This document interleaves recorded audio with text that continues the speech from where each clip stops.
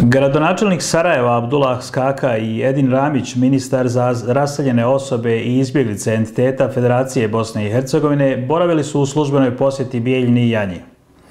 Tom prilikom ispred Atik džamije u Janji upriličena je primopredaja Ramazanskog topa, koji će u buduće u Janji oglašavati početak i kraj posta. Gradonačelnik Skaka i ministar Ramić su u pratnji glavnog imama Međusa Islamske zajednice Janja Omer Efendije Camića proučili Fatihu i položili cvijeće na spomen obilježje šehidima i civilnim žrtvama rata u Janji.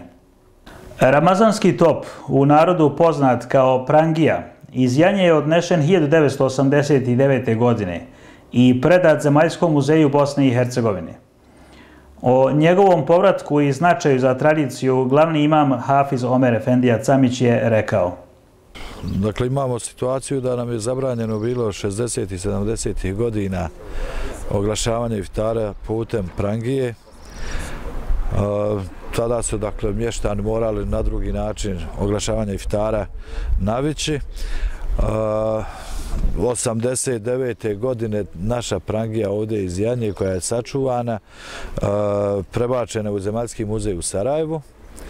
A ovo, prošle godine smo na jednom iftaru zajedničkom e, dogovorili da uputimo zahtjev gradonačniku grada Sarajeva da vratimo tradiciju. Evo danas smo u situaciji, hvala Bog, da prisutujemo ovaj primopredaj Ramazanskog topa i nadam se ako Bog da, da nakon evo, 40 godina možemo da obećamo našim mještanima da će se ova tradicija u našoj janju vratiti. O aktivnostima na daljnjem jačanju odnosa Sarajeva sa poratničkom zajednicom u Janji gradonačelnik Skaka je istakao.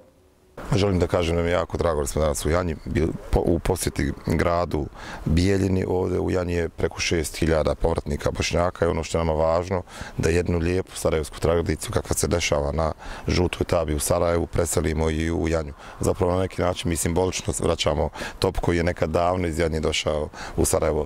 Ovo je još jedna od aktivnosti kojim grad Sarajevo želi zaista da pruži podršku i povratnicima s jedne strane, a s druge strane da sarađujemo sa svim lokalnim zajednicama u Bosni i Hercegovini preko 20 topova je do sad grad Sarajevo donirao, znači u svim većim gradovima u Bosni i Hercegovini postoje topovi. Želja nam je da do kraja našeg mandata u 30 gradova u Bosni i Hercegovini postoji jedna ovakva tradicija. Otkud eh, sad eh, taj motiv da se krene sa tom realizacijom eh, doniranja topova posle toliko decenija. Znamo svi da je negdje krajem drugog svjetskog rata ugasio se taj običaj sa topovima u Ramazanu.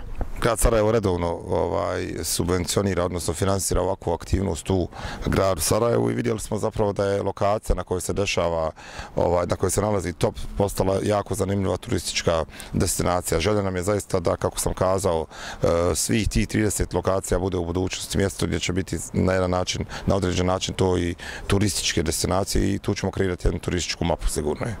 U proteklom periodu intenzivno se radilo na realizaciji projekata vezani za infrastrukturu kako bi se poboljšali uslovi života mještana Janje.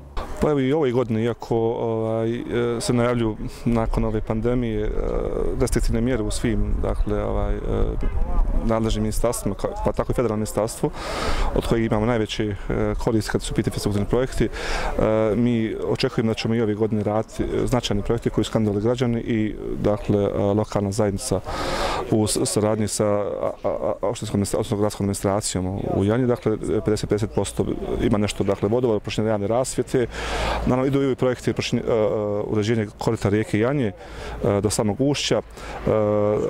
Ukupno, dakle, sa ovim izdvajima Turske razvojne agencije Europske banke za razvoj, iznos sestava za uređenje korita rijeke Janje odbred poplava je preko 20 miliona maraka. Gospodine ministre, evo, prisustvujemo upravo i dodjeli ovog lijepog poklona koji nas vraća, vraća neke tradicionalne vrijednosti ovdje u ove krajeve. Kakav je značaj, pored tih tradicionalnih vrijednosti, ova donacija topa po vašem mišljenju, s obzirom ste stalno ovdje na, na putevima u, povratničkim sredinama, obilazite e, naše povratnike i tako dalje?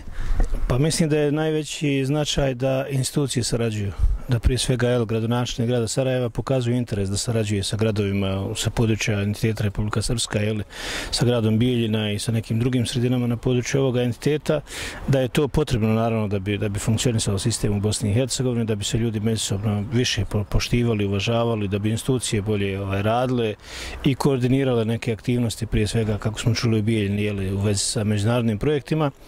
A s druge strane ova podrška povratnicima i povratničkoj zajednici je također simbolična jer je neko u glavnom gradu je prepoznao i njihove potrebe, tako da me raduje da je danas gradonačelnik tu sa ovim simboličnim poklonom, dakle i, i Janji i ukupno ovaj, građanima Biljni, jer svi će na neki način ovaj, čuti te zvukove topa jel, kad, kad nastupi vrijeme a, prekida posta. Tako da to ima svoju, svoju simboliku jeli, na, na, na, mnoge načine, na mnoge načine, ali prije svega je bitno da, da ljudi sarađuju i to je najvažnije na ovom prostoru. Jel. Inače su tokom mjeseca aprila poduzete mjere pomoći socijalno ugroženim licima, a u toku je i podrška poljoprivrednika u smislu refundiranja troškova proljetne setve te podrška privrednih subjekata koji zapošljavaju tri i više uposlenika.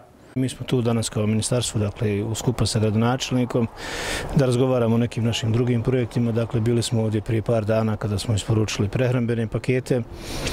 Najavili smo tada naše javne pozive u vezi sa podrškom poljoprivrednicima, sa podrškom privrednicima, kako bi uspješnije savladali ili u pandemiju izazvanu koronavirusom.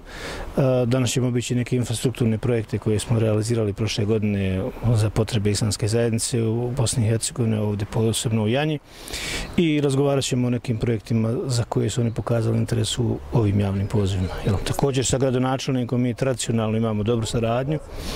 A, uvijek smo kada su u pitanju infrastrukturni projekti potpisivali različite sporazume s kojim je grad Biljna jer su finansirao određene projekte u vezi sa podrškom povratnicima. Već je sam gradonačelnik to najavio za ovu godinu što me raduje, tako da mi se nastavljamo kretati u tom pravcu. Dakle, kao institucija koja jeste nadležna za povratak za rasljena lica, ali trudimo se da pronađemo partnere dakle, i u Republike Srpskoj, u Federaciji, u lokalnim vlastima koji će podržati te projekte. Ministar Ramić je ovih dana također najavio pomoć i pozvao na uključivanje u programe podrške kako bi se intenzivirala poljoprivredna proizvodnja, te u daljem radu pristupilo povezivanju poljoprivrednika i daljem plasmanu njihovih proizvoda na inostrana tržišta.